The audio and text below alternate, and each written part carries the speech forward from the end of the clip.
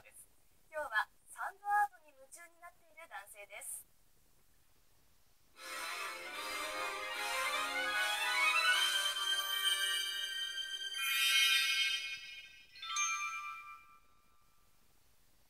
グラスの中にカラフルな砂を積み重ねて崩しながら作り上げていくサンドアート。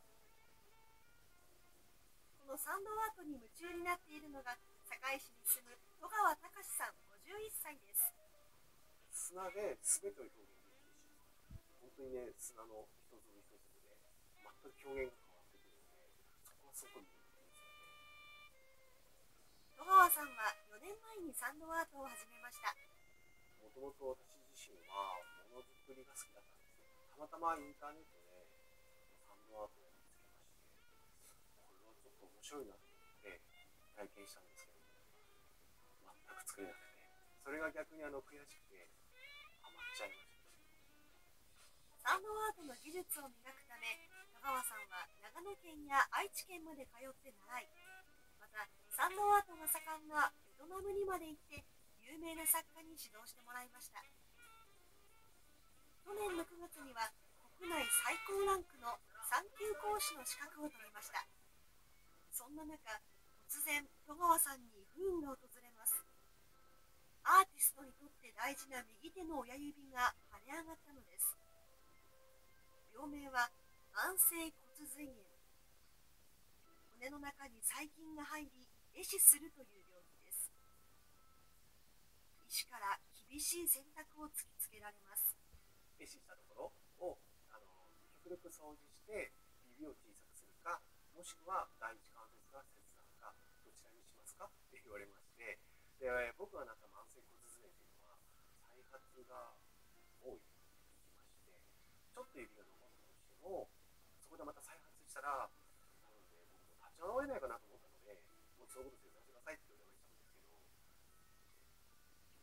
手術をした後思ったよりも指の自由が利かないことにショックを受けたといいます。まあ先が細くないのでそれこそ自販機で銃使うのもお金をねなかなか入れられなかったやっぱり作品作る時も指先の力が入らないとか非常にずれるんですよ本当にショックでもうちょっと半分半泣きになってたんですけどいつになってもいいから戸川さんの作品を頼みたいものがあるからって言われたのがあったのでやっぱりそれもね自分の中でやっぱり励みになりましたね戸川さんは以前よりも制作に時間はかかるものの砂と向き合う時間が増えたといいます。7時間8時間平気で砂触れるっていうのはびっくりして全く作業時間も集中度合いも違うんですよ病気を乗り越えさらにパワーアップした戸川さん。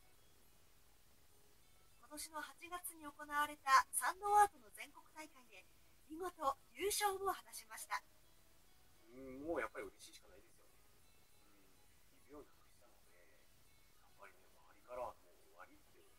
てましたんでねサラサラじゃないですかで簡単に崩れるものなのでどのようにして崩れないように積んでいくかっていうのが重要かなと思います。しまあだからこそ山じゃないですけど挑戦してみたいなと思いますよね戸川さんが最近特に取り組んでいるのが亡くなった人の遺骨の一部を手元に置いて供養をする手元供養のためのサンドアート。事情があって仏壇を作れない人のために亡くなった人の遺骨と砂を層にして作ります。なるべくねやっぱり崩れないのでずっと持ち続けるものっていうのを作ろうと思ってましたねずっと見ててもすごくほっとするとかねそういうふうに言っていただけてるのでやっぱり僕としては嬉しいですよね。何かサンドアートで協力できないかなと思ってます。さまざまな作品作りに挑む戸川さん戸川さんのもう一つの顔はなんと空手。戸川さんは18歳から空手を始め三段の腕前。今は週に1回地元のスポーツ少年団を指導しています。優しいし結構逆とかも言ったりして笑わせてくれるところ。がい。いあの僕自身は空手が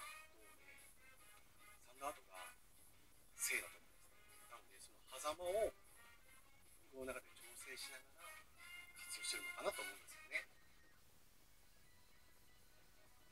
戸川さんの夢は？あの僕ねやっぱり福井って大好きなんですよ。ね福井の観光そういうものを、えー描いていきたいなと思いますよね。まあ、当然高いってからもある場合とか、戸川さんの挑戦は続きます